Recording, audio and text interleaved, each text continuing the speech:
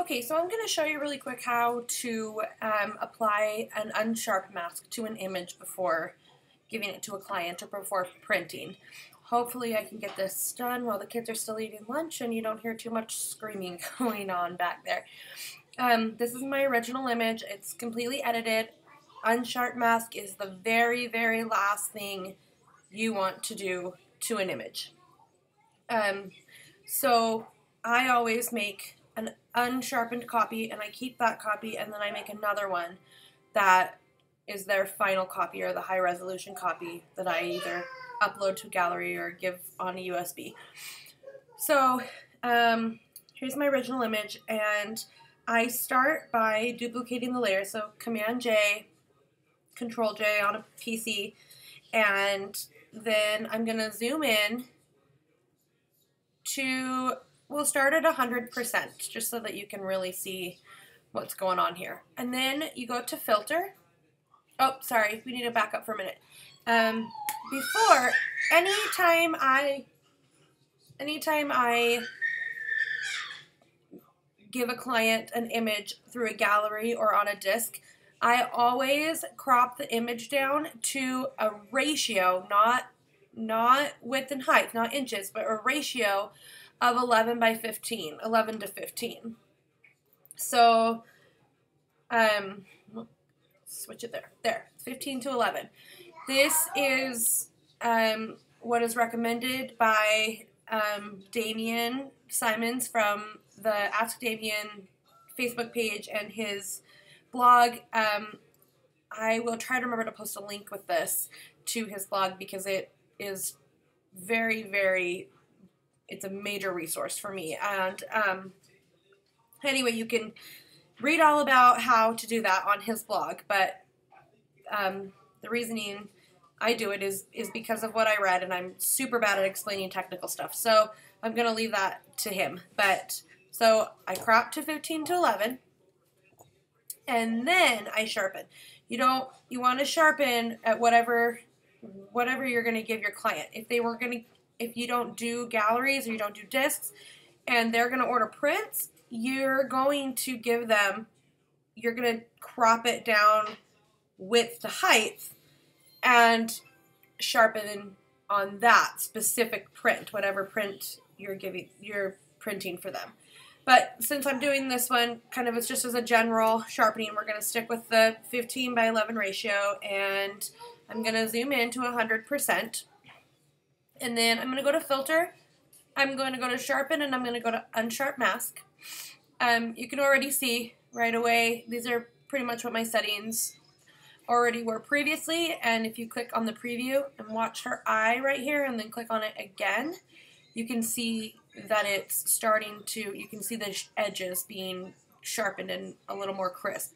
So there's three sliders. There's the amount slider, the radius slider, and the threshold slider. Again, I'm going to post a link to Damien's blog.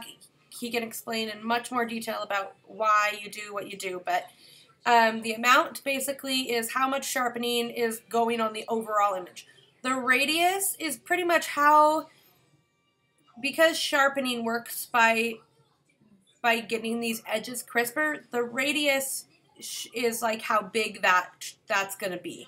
So at a at 128%, it's saying that 128 that's that's how much of the image is being overall sharpened.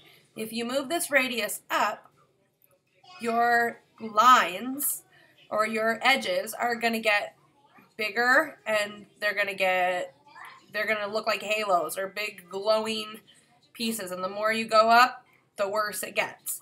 So what the goal is for sharpening is to find that perfect spot that um, will be. Okay, hang on, buddy. Here. The perfect spot that will be that will give it just enough sharpening to look good in print and give it that crisp edges without being overly crisp. So for a 15 11 ratio, I am usually right where I was 128%, usually right around two and a half maybe a little less.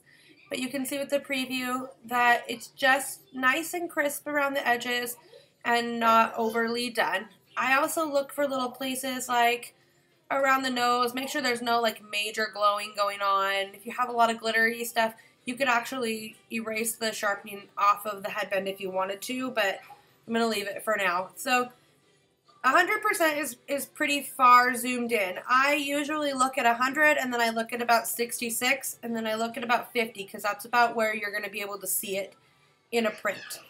Um, I will go in and touch some of these up. Some of these little little glowy things are bothering me. They must have been glitter from her headband sharpened or something. But the threshold, the threshold is basically how. Okay, I'll see if I can explain this. But um, basically how how many pixels are getting sharpened.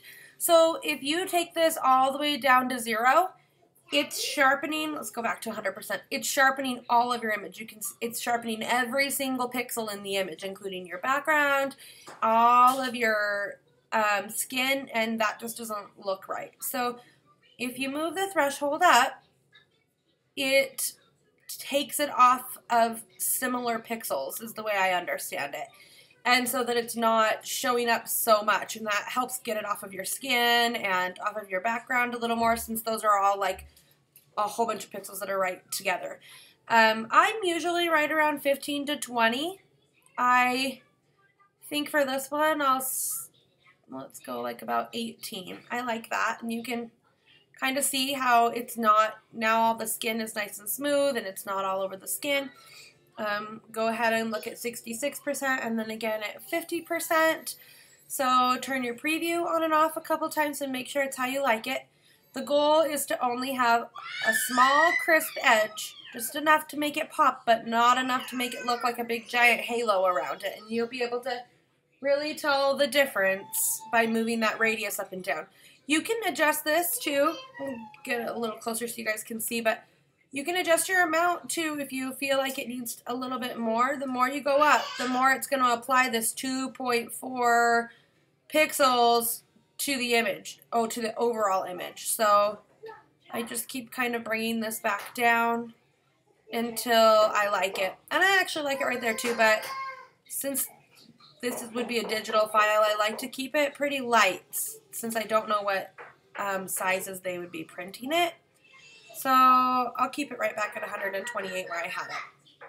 You can turn your layer on and off and you can see how much sharpening is applied. If you still feel like it's too much, you can go ahead and bring the opacity down on your layer. I like it where it is. I am going to actually make a layer mask though right here. These little glittery spots on her eyebrows are drive her eyelashes are driving me crazy. So I'm going to just bring my brush up to 100% opacity. And I'm just going to kind of go over these little spots that are really, whoops, that are kind of glowing at me because it was kind of driving me crazy. Spot inside her eye right there. Mm, I I'm going to put it back. Okay, so I just wanted to fix that one little spot, and then um, you just flatten your layer save it as a sharpened copy, and that's it.